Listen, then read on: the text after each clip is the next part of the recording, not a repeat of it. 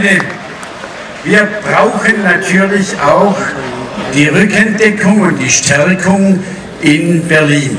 Deshalb sind auch Bundestagsabgeordnete unter uns, neben Herrn Norbert Bartle vom Wahlkreis Backnang, Schwäbisch Gmünd, sind auch da unser Stuttgarter Abgeordneter Stefan Kaufmann und der Göppinger Abgeordnete Herr Simling und weitere habe ich gesehen, aber ich bin, ich bin jetzt nicht in Augenkontakt. Jetzt darf ich einfach um ein kurzes Grußwort der beiden Abgeordneten Stefan Kaufmann und Werner Simling bitten.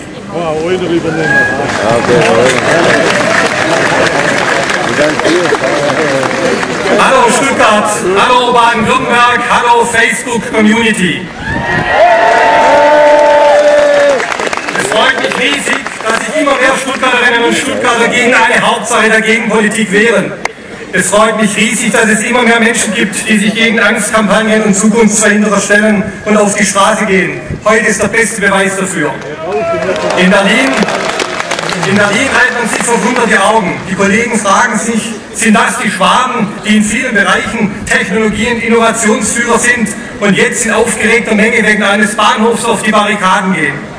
Deutschland läuft Gefahr, wegen der Proteste international zum Gespött zu werden.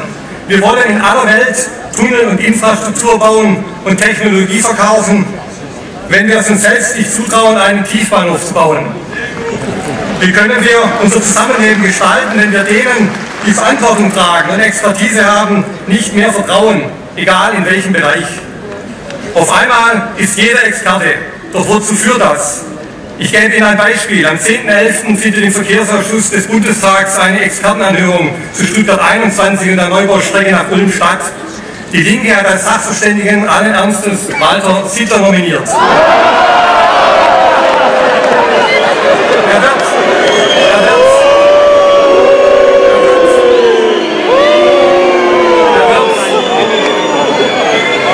viel Schauspielkunst benötigen, um seine fehlende Kompetenz in der Sache zu übertünchen.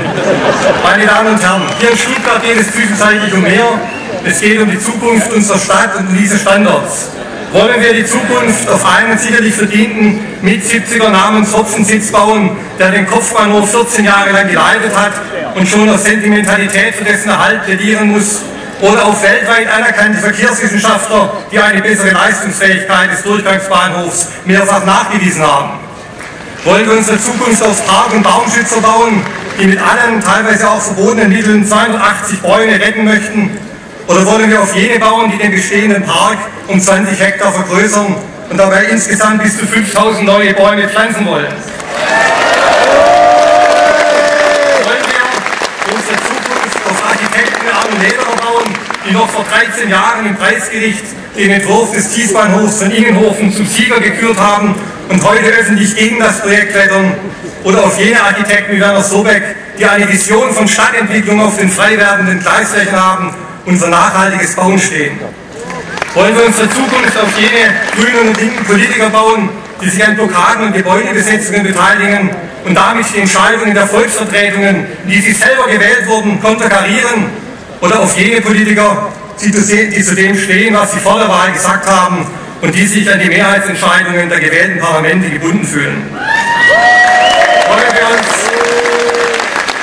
wollen wir unsere Zukunft auf jene bauen, die alle Projektverantwortlichen pauschal als Lügenpakt diffamieren, die wie die grüne Stadträtin Seitz den Abriss des Nordflügels mit der Zerstörung der Buddha-Statuen durch die afghanische Taliban gleichsetzen oder den Bahnhofsturm als, als Friedens titulieren. Meine Damen und Herren, liebe Freundinnen und Freunde, liebe Stuttgarter, ich nicht. Lassen Sie diese Stadt und die hiesige Stadtentwicklung nicht zum Spielball linksgerichteter Politiker und fehlgeleiteter Interessen werden.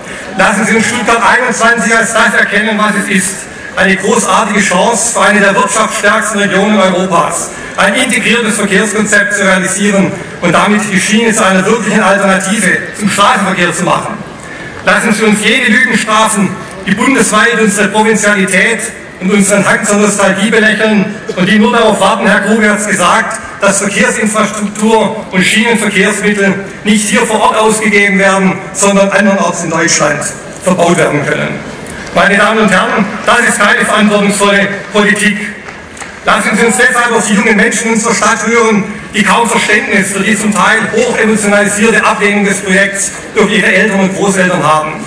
Hören wir auf die jungen Menschen, die vor allem die riesigen Chancen für ihre Zukunft in unserer Stadt erkennen und beteiligen wir sie und alle anderen Interessierten an den Plänen für eine großartige und einmalige Chance zur ökologischen Stadterweiterung mitten in der City. Und hören wir auf junge Menschen, die kein Verständnis dafür haben, dass politisch interessierte Kreise das Thema Stuttgart 21 dazu nutzen, die Atmosphäre in unserer Stadt zu verändern. Stuttgart hat es verdient, dass wieder Vernunft, Besonnenheit und Mäßigung die Oberhand gewinnen. Das, was uns Schwaben schon immer ausgezeichnet und über Jahrzehnte zum hohen Lebenswert und der großen Geschlossenheit in unserer Stadt beigetragen hat. Die Bundesregierung und die beiden Koalitionsfraktionen stehen jedenfalls solidarisch an unserer Seite und befürworten das Projekt. Und viele, viele Kollegen aus dem Land sind heute hier in Stuttgart, um dies auch zu demonstrieren. Ohne Wenn und Aber. Das gibt uns den nötigen Rückenwind hier in Stuttgart, um weiter engagiert und sachlich für unser Stuttgart 21 zu kämpfen. Wir sind Stuttgart. Danke sehr heißen auch einige Hinterbänkler bzw. Hintersteher willkommen. Die wollen sich einem Lernprozess öffnen. Das ist sehr gut. Und Sie kommen gerade rechtzeitig, weil wir jetzt auch unsere Umwelt- und Verkehrsministerin Tanja Göhner unter uns begrüßen. Die, das ist ja eine gute Sache in Baden-Württemberg, dass Umwelt und Verkehr in einem versöhnten Miteinander ministeriell besetzt ist. Und hier wird moderne Infrastruktur verbunden mit einem Gewinn für die Menschen hier in Stuttgart. Luft, Park, Lebensqualität, Schienenertüchtigung, Nah- und Regionalverkehr.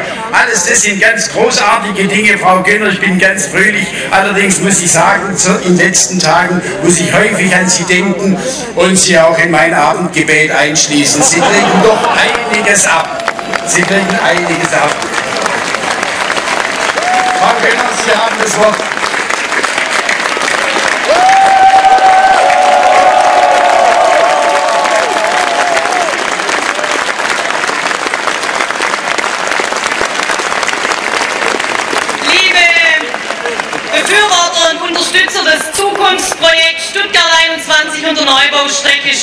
Stuttgart-Ulm. Lieber Herr Bräuchle, es hat noch nie geschadet, wenn man ins Abendgebet eingeschlossen wird. Das soll später mal helfen. Und im Moment hilft es auch. Und damit will ich auch beginnen. Ich freue mich, dass Sie heute alle hierher gekommen sind. Ich sage Ihnen, von hier oben ist ein beeindruckendes Bild. Herzlichen Dank.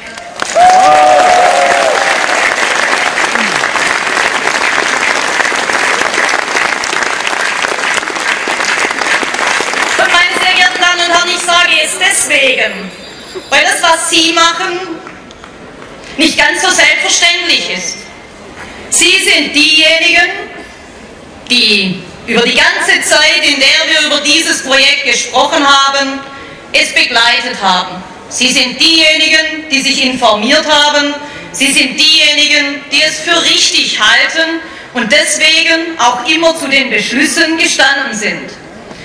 Und meine sehr geehrten Damen und Herren, wer für etwas ist, wer weiß, dass etwas rechtsstaatlich beschlossen ist, der geht davon aus, dass es kommt und dass er nicht dafür auf die Straße muss, und deswegen ganz herzlichen Dank, dass Sie irgendwann entschieden haben, zu zeigen, wie viele Menschen für dieses Projekt stehen.